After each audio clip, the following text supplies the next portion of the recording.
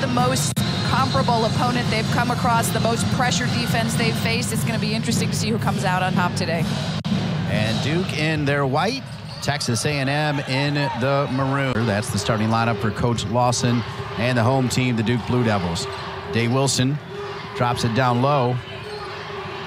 Up and in. Good little move that time as the finish there from Brown. Kennedy Brown, the 6'6 junior transfer from Oregon State. Nice little hook shot around the basket. Bowles, Green, Jones, Barker, and Patty, and finished at the rim there by Barker. It's knowing when to shoot, knowing when you have rebounders, taking the best possible shot for your team, and looking for a high-low opportunity there for Duke. It's Kennedy Brown got her player sealed up. High low executed perfectly to give Duke the two point lead. Setting for three and buried there by Bowles. By way of Canada, the aforementioned Day Wilson. Beating the press with the dribble and some quickness. Bowles has another three. Just watch this nice cut up the middle and it creates numbers. And Bowles is spotted up in the corner. That's a great pass. Keeping an eye now defensively on number 24, Richardson. Richardson has ties to can take the lead again. Taylor forced that one. Wow.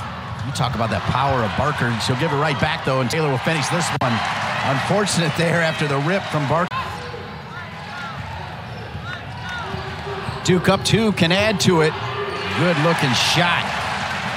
Duke five for 11 from the floor. Texas A&M three for seven. They trail by six. 3:33 remaining here in the first.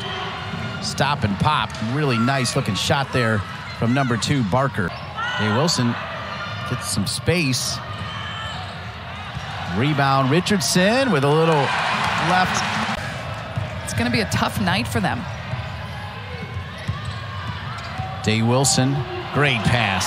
Little hesitation finds Volker. Team is part of those dishes. Good job down low, tough angle, finished neatly there. And going the other way is the baskets from Patty. Blue Devils right now doing a great job not letting the Aggies make the next pass. Good pressure defense. Barker with the step back. Wow. Kills it, drains it. Three-point shot is keeping Texas A&M in this right now. Only down five. Under eight minutes left here in the first half. Backdoor cut Taylor. And the and one. We just have this single down screen. Pop back by DeJesus. Celeste Taylor's going to use that opportunity to post up against a smaller defender than Mackenzie Green, the graduate student, make the easy layup. And picked off by Taylor. Taylor, defensive weapon, finishes it. She's got 11. First player in double digits. That didn't hit the rim, so the shot clock is down to 10. Patty. Kind of a four shot, but buried right there by Kindred.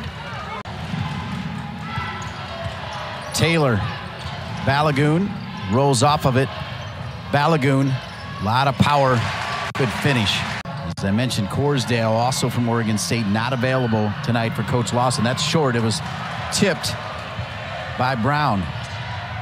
Outlet up and in. Good finish at the basket by Ashlon Jackson, the freshman out of China, Texas. Green.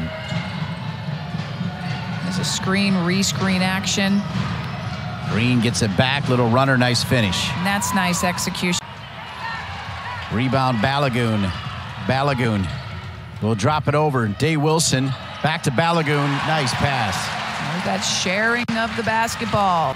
What Texas A&M does offensively right now. Shot clock, game clock, 10 seconds separating the two. Balogun, nice bucket. Balogun starting to heat up. She's got six. And today she said it would be a good test to see what her team was really made of and the things that they really need to work on as another long range shot by the Aggies by Sydney Bowles. You can pop it. You can do a lot of different things out of it. You just make the read. Duke with another offensive rebound. Two chances to score. Kennedy Brown knocks that down.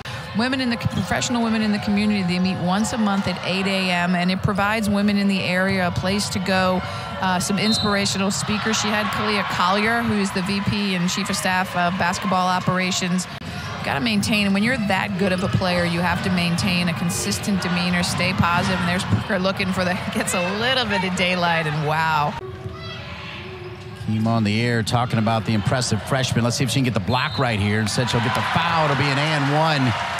And a little bit of flex right there from Day Wilson.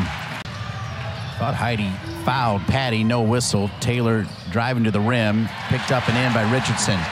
Richardson now three for nine, and she's got eight points.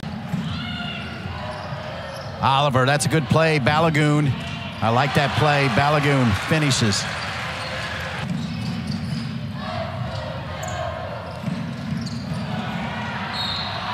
Balogun, and one for Balogun.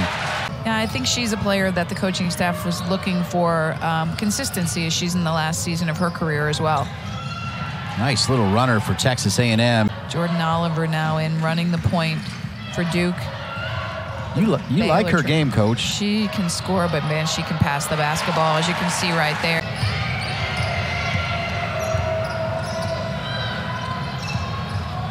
Patty. That's a nice shot for Coach Taylor and Texas A&M. They're such a different team without Janiyah Barker in the game. There's a nice take by Jada Malone. Taylor decides she's not going to shoot three in a row. She'll drop it. Heidi not ready. It'll be a turnover. Probably should have shot the three. She was open. And the other way up and in for Texas A&M. And Coach Lawson did not like that last sequence. It's so fascinating because you just never know what five you're going to get as DeJesus finishes at the rim. 67-46. Nice finish from Patty. It's important to thank the person that throws the assist. Wow, step out. Kennedy Brown showing a little range. Blocked there by Patty. A&M, the outlet. Bowles, yes. A&M with the transition basket. Bigger, stronger, tougher opponents. Turnover. Richardson.